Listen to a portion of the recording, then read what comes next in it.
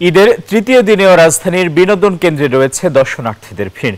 বিস্তারিত জানাতে Bashundhara City Toggi Fun World থেকে সরাসরি যুক্ত হচ্ছেন সহকর্মী সাফিয়াস রাসনা।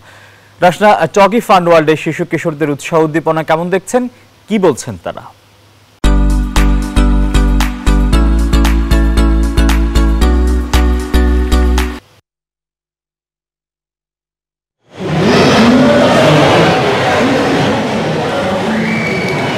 আসিফ ধন্যবাদ আপনাকে। যেমনটি বলছিলেন যে আজকে ঈদের তৃতীয় দিন এবং এই মুহূর্তে আমি রয়েছি রাজধানীর বসুন্ধরা সিটি শপিং কমপ্লেক্সের টগি ফান ওয়ার্ল্ডে। একটু যদি আপনাদেরকে ঘুরে দেখাতে চাই, দেখছেন যে পুরো টগি ফান ওয়ার্ল্ড কিন্তু এরই মধ্যে কানায় কানায় পূর্ণ হয়ে উঠেছে এবং শিশু কিশোরদের কলকাকলিতে মুখর হয়ে উঠেছে।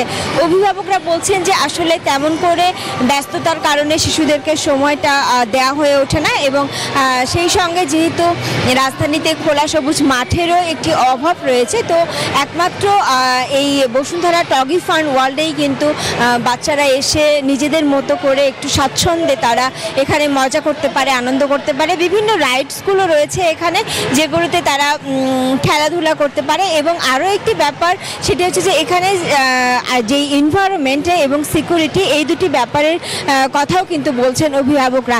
তো সব মিলিয়ে আসলে এই টগি ওয়ার্ল্ডে যেখানে শিশুরা আসছে অভিভাবকদেরকে নিয়ে। তারা কিন্তু আসলে অনেক মজা করছে এবং তারা বলছে যে এখানে আসার যে একটি কারণ সেটি হচ্ছে যে এখানে এনভায়রনমেন্টটা ভালো এবং এখানে যারা আছেন, তারা এসে অনেক মজা করছেন এবং তারা বলছেন যে এই টগি ওয়ার্ল্ডের মতো যদি আরও টগি ফান ওয়ার্ল্ড যে যারা এখানে আসছেন, এসে তারা এখানে অভিভাবকদের সঙ্গেই কিন্তু অনেক আনন্দ করছেন, মজা করছেন। তো আমার কাছে এখন পর্যন্ত এই ছিল সবশেষ সংবাদ।